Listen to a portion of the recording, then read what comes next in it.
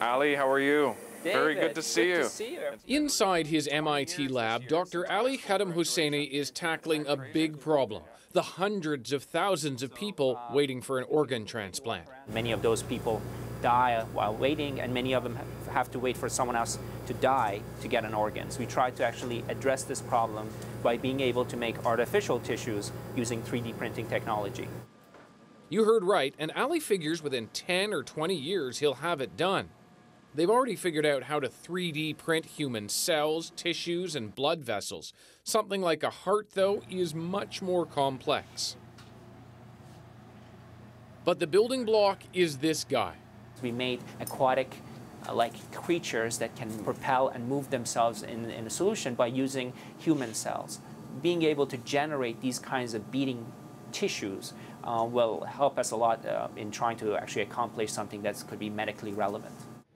Yes, that little jellyfish like being is created, printed to be exact, using human cells that actually emulate a beating heart. We have uh, one of our printers that we can use to print cells and materials to make things like artificial blood vessels or artificial liver.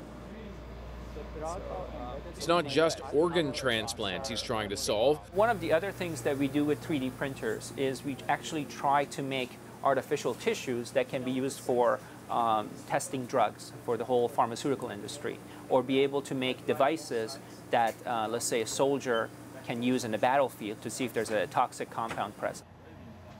To do that, the lab looks at how drugs cause a domino effect as medication moves from, say, the liver to the heart. It's a complex system, one that could potentially eliminate the need for animal testing. Ali calls it organs on a chip. If you just have liver cells by themselves or heart cells by themselves, you don't see this interaction.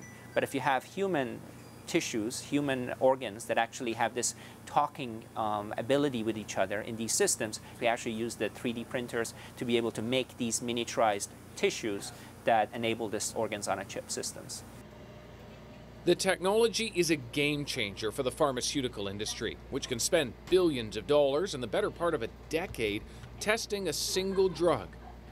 So we have smartphones, smartwatches, smart watches, smart everything. Why not a smart band-aid? That's right, that's right. So we've been working on trying to apply um, some new technologies called flexible electronics.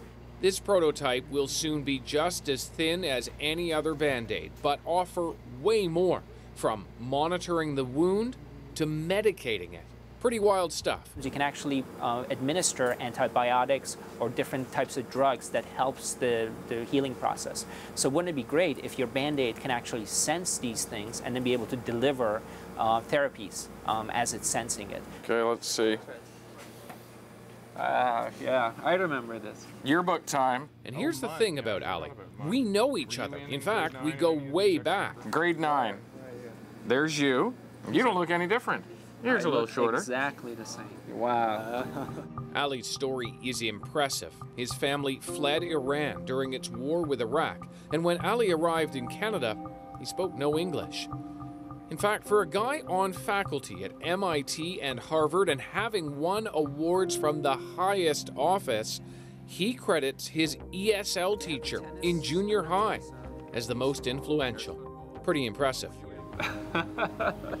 and for me, this has been a great reconnect 20 years after high school, and we've both done well. Ali is Oh, yeah, working yeah. to print organs. And me? I talk over pictures for a living. Buchanan. Oh, Physics? I had him for physics. That's Yeah. right. He was a nice guy. David Common, CBC News, Boston.